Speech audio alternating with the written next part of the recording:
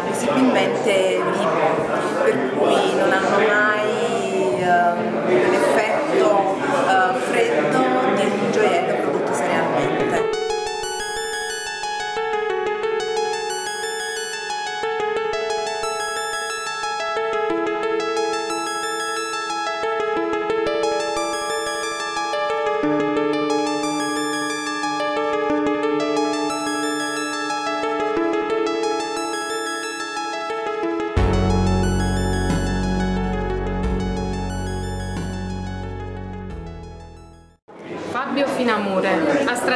nelle più svariate forme. Il tuo primo amore è la toy.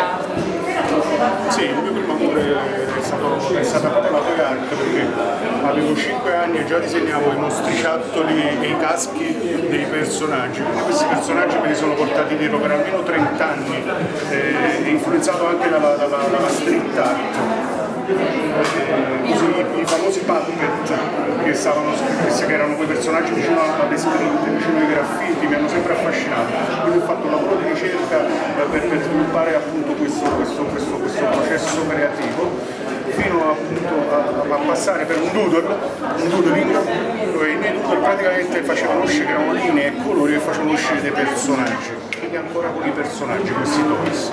Io ora però sto dicendo ciao ciao a tempo pieno, perché mi sto dedicando più all'arte, come dicevo prima nella nostra, nella nostra, bella conversazione, urbana, quindi cerco di staccare l'influenza street con quella urbana, quindi dall'urbano io penso lo vedo come, come approccio materico e vado a metterci uno stile calligrafico astratto. La calligrafia astratta che richiama poi sempre le tag, le scritte sui muri, decadenti e bla. Ritorniamo bla. sempre. E ritorniamo poi sempre all'urbano, a quello che, quello che ci circonda, no? quello che vediamo. A me ispira più una metropoli che un, un paesaggio tropicale. Quante opere in mostra e che tecnica?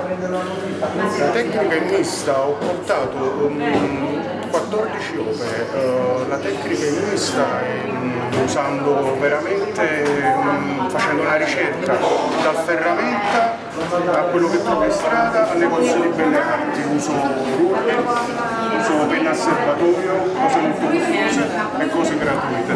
Posso spendere 25 euro per uno strumento e posso per, per, per spenderne zero. E quello è il divertimento secondo me. La materia che va sulla tela, e non solo tela, qualsiasi cosa mi piace decorarla, mi piace dare, dare carattere siamo quasi tutti, vedo un sacco di persone carine, devo vabbè, intanto ringraziare il nostro padrone di casa, Willy Sant'Angelo, non so se c'è, facciamo un applauso a Willy intanto per...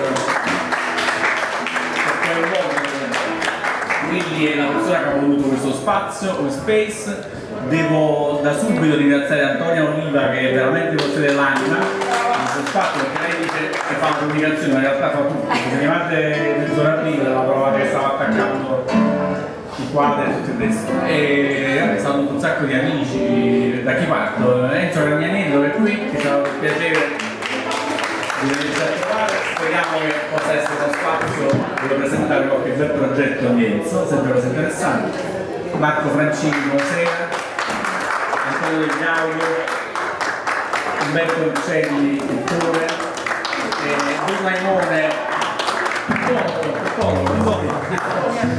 eh, Sergio Fava dei Eagles, Eagles Napoli che presto faranno una collettiva su Napoli. E volevo che gli, gli, artisti di ora, di stasera, insomma, oltre a, intanto vi presento, scusate, mi ero distratto, Mauro Di Domenico. partita la cosa così, stavamo a casa nostra quindi eh, volevo invitare Fabio Finamore, poi anche Maria di Corriere Lab, intanto per farvi vedere che qualcuno controlla i gioielli di Maria, per cortesia. Controllo io! Bravo, ancora anche qui, anche la sicurezza. E allora buonasera, Maria Danna per Corriere Lab. Fabio Finamore, artista, pittore che avete apprezzato sicuramente. E a volo, Mauro Domenico, Mauro, l'impatto su WeSpace? Sì, sai, l'impatto è bellissimo perché a cavallo tra Parigi e New York e anche Londra. Quindi un posto immaginabile, vieni qua giù questo bunker, è un bunker felice però, non come i bunker quelli che siamo abituati a vedere a sentire. È un bunker felice per quei, quegli eletti, in qualche modo, che possono essere tantissimi gli eletti. E quindi va bene, va bene così, è bello scoprire che a Napoli, nel cuore di Napoli c'è un posto come questo. Bravo Willy che ha questo grande coraggio a portarlo avanti con gente come voi, con tutti gli altri che partecipano oltre a tanta anni musica. Va bene? Mi sono parlato bene? Tutto al fianco. Questo è l'arrivo, poi parliamo, dopo parliamo di un maestro che sta facendo la storia della musica da qualche anno, insomma che tu stai dando, vabbè, parliamo dopo. E allora, Maria, buonasera, benvenuta a WeSpace. Buonasera.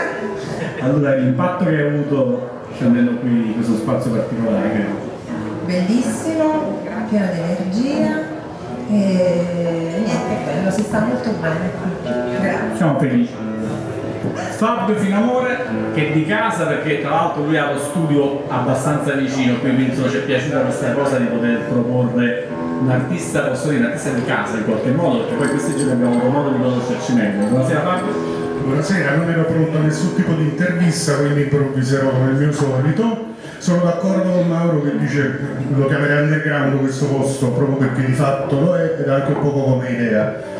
E apprezzo appunto molto, molto il gesto di Willy perché veramente questa cosa qua me ne accorgo che la fa col cuore perché ha detto delle belle parole anche mezz'ora fa e le- si vede che la cosa la sente e appunto è bello che si chiami prove d'autore, non è pretenzioso, almeno nel mio caso. Per cui stiamo bene, bello, energie ce ne sono. E eccolo là, un applauso a Willy perché prima non l'ha sentito. Ciao. Willy. Willy insomma è così, ha, ha scelto me come rappresentante, sono la sua faccia, la sua voce questa volta. Stato al cinema, al posto, il ragazzino che andava con lui al cinema, gli asini non mi scacciavano, io andavo a strasserare. E io mi la prima volta nel 63 mi di per un pugno di dollari, molto ridere. Anno 63. Per cui di questo film sono quasi tutto il tempo sette volte l'ho visto in esecuzione. Mi feci comprare da mio papà, Danello, mi feci comprare i 45 giri ma non tanto per le battute in western, sai che facciamo così, no, no, proprio perché mi piaceva la musica. Mi fece regalare 45 giri, che era per un pugno di dollari e il retro, lato B, titoli, che ancora conservo, un disco che è consumato e vi ricordate i mangiadischi, quelli che ogni volta che lo tiravi fuori era un raffio nell'anima. È un tempo ancora quel disco, sta lì a casa, nel salotto, e praticamente nulla lasciava pensare che io avessi fatto il musicista nella vita, 8 anni, che avevo pensato. Anzi, si faceva io se che volevo fare, falegname. Volevo fare, eh, eh, infatti è il mio hobby preferito, io faccio, cioè, mi piace fare curare il legno. E quindi niente, per cui Morricone mi viene da molto lontano. Questa cosa che l'ho confessato quando nel 92, però non riesco a parlare, scusa, nel 92, aspetta, Sai che facciamo? Dato che la musica ha una magia speciale, crea attenzione. Allora, a proposito di Morricone, se ti chiedo. se mi chiedi Morricone, Allora, se io chiedo Morricone a Mauro Di Domenico, vediamo che succede.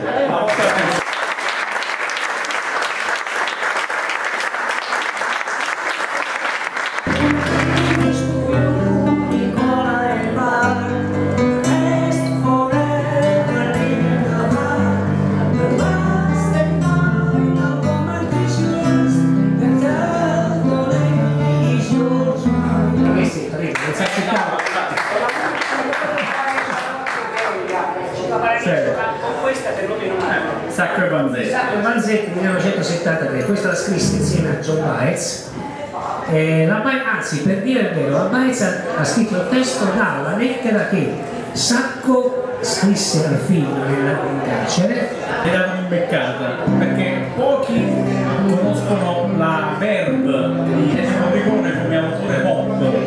Mi ricordi una canzone? Eh, Morricone, scusa Patrizia, fa un sacco di casino, aspetta. Allora,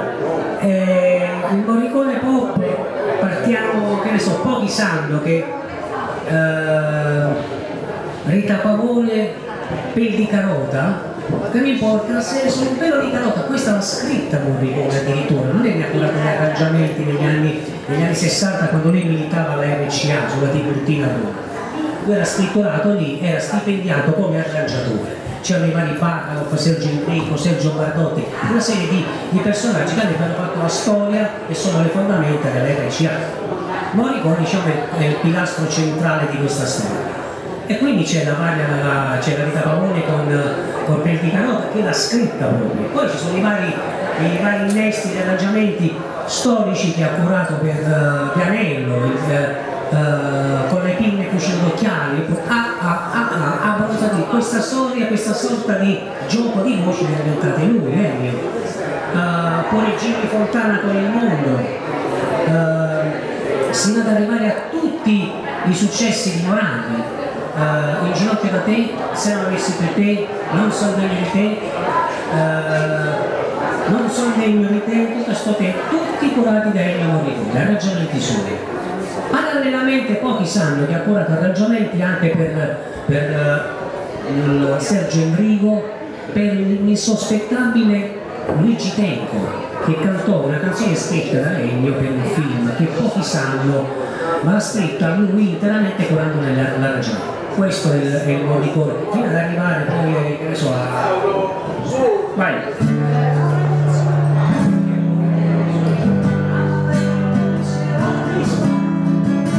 Questa l'ha scritta lui cioè l'ha arrangiata lui e l'ha portata a grande, a grande successo adesso lasciamo il, il, il, il Morricone pop.